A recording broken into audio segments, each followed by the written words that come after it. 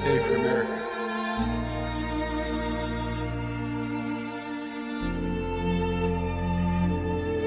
Just a few hours ago, CDC announced that they are no longer recommending that fully vaccinated people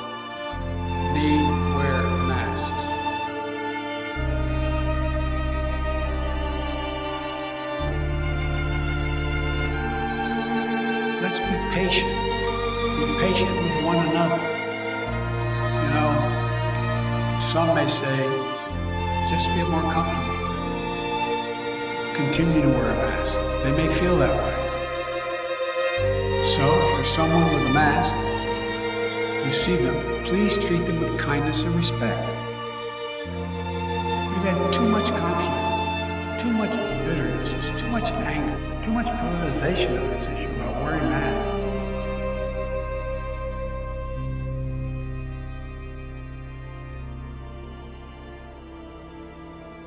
I'd like to ask you to join me in a moment of silent prayer. Remember all those who we lost this past year to the pandemic.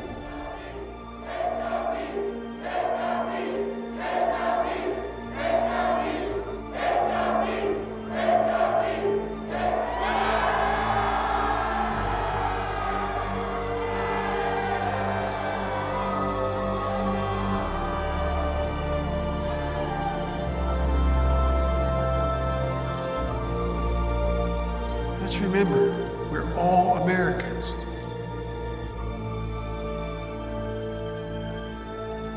Let's remember that we are all in this together. If you're fully vaccinated and can take your mask off, you've earned the right to do something that Americans are known for all around the world. Greeting others with a smile. with a smile. So, it's a good day for the country. We aren't done yet.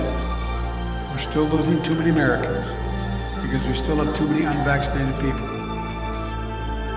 And we have to take this pandemic, tackle it, not just here, but overseas as well, to truly be safe in the long run. It's free. Just walk in. Get the shot. The rule is very simple. Get vaccinated or wear a mask until you do.